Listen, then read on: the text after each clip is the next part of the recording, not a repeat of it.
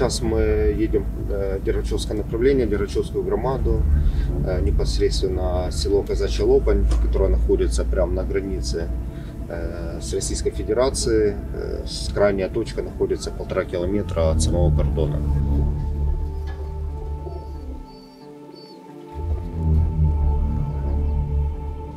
Сейчас там нет света, нет газа. Население где-то порядка 15 тысяч человек, и из этого количества осталось чуть больше тысячи человек, которых нужно кормить, э, которым необходимы медикаменты, теплые вещи. Вот мы постоянно находимся, в, скажем так, в том э, положении, не можем оставить этих людей и все время привозим им помощь.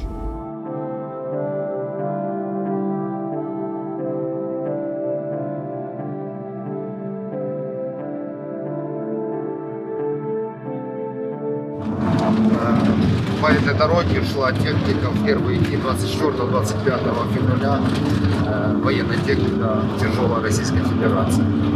И на этих участках они уже свернули как в сторону Харькова, эта техника была разбита.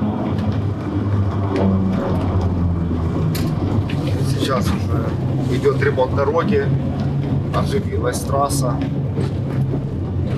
Еще два месяца назад здесь была пустота.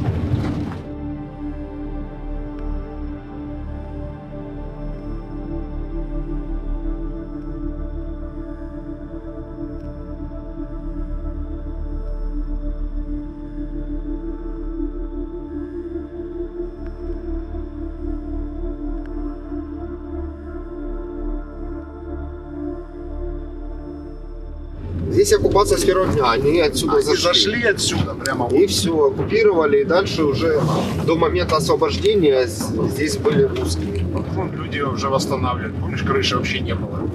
Натянули уже какую-то пленку. Вот тоже надо не было. Да. Видите, сколько вот это все. Да, все под ноль. Это ж мы едем только ну, по, по дороге. А если вглубь вот так вот походить, посмотреть, там каждый второй, третий дом разбит. Здравствуйте. Здравствуйте. Потеплее. Да. На палеты или? А? На палеты или Нет, как?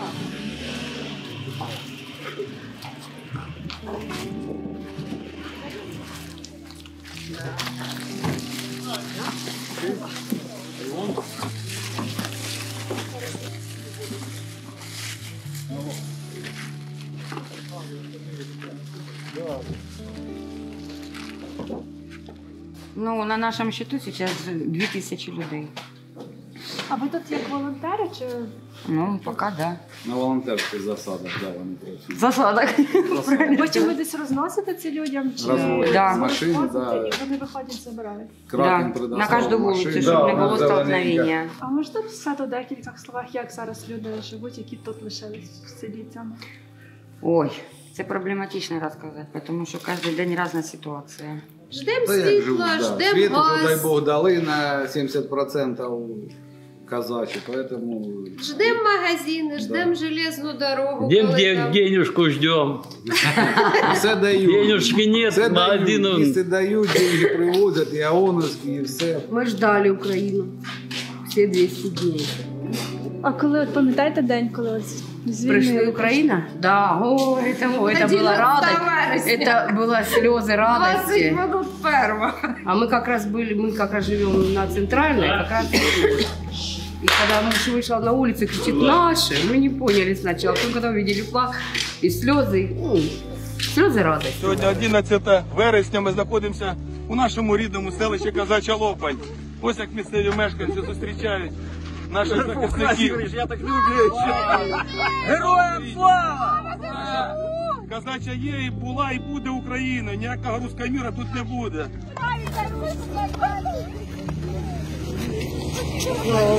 Героям слава! Будете відбудовувати? Ну, а куди діватися? Да? Добре, ми Если мы прошли ад, неужели мы отсюда сейчас поедем?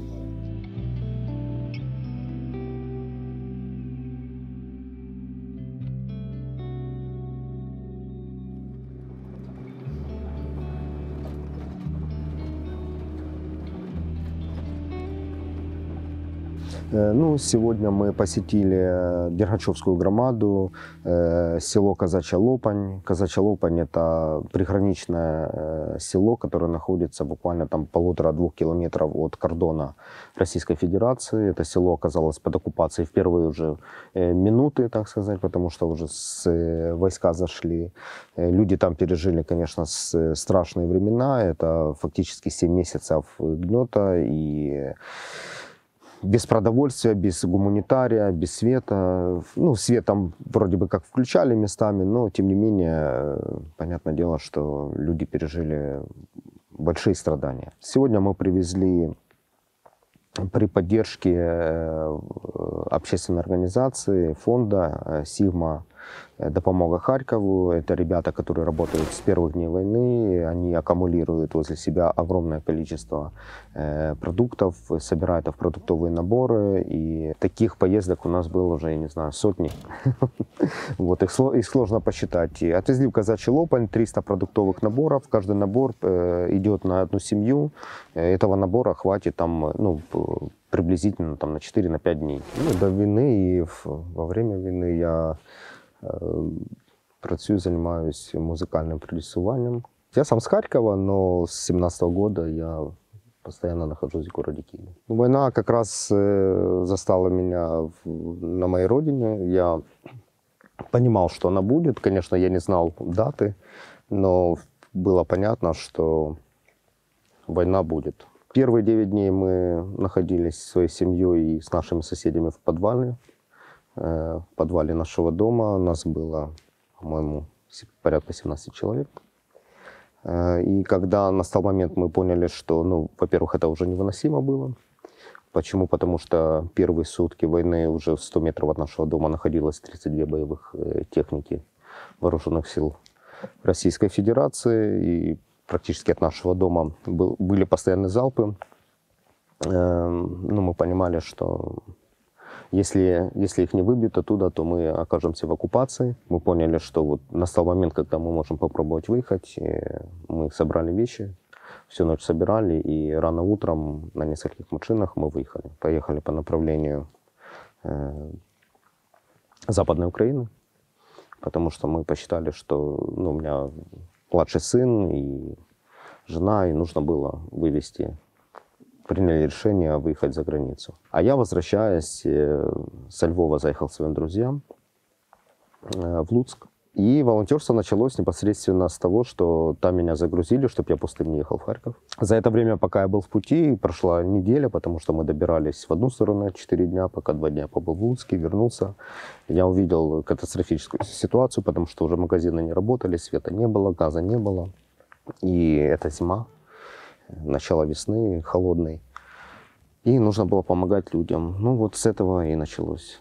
Поиски фондов, поиски людей, личные средства. Э, Рядом оказались э, ребята, друзья, кто не взял оружие, но сказали, что мы готовы помогать.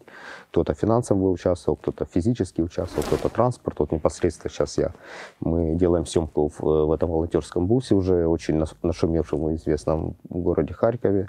И э, этот бус предоставили мои друзья. Мы не едем хаотично, мы связываемся с местной властью. Где-то есть друзья, где-то знакомые. Мы много это все большую часть работы нам помогают делать військовые, потому что они лучше понимают логистику. Не всегда можно доехать в то или иное село без разрешения, поэтому нам в этом плане очень содействуют э, вооруженные силы Украины. Мы не оставим людей, и с первых дней мы работаем, и до самой победы мы будем помогать и делать все возможное, все, что от нас зависит, чтобы э, наша Украина процветала. Я считаю, что э, мы обязательно победим. И я думаю, это будет очень скоро.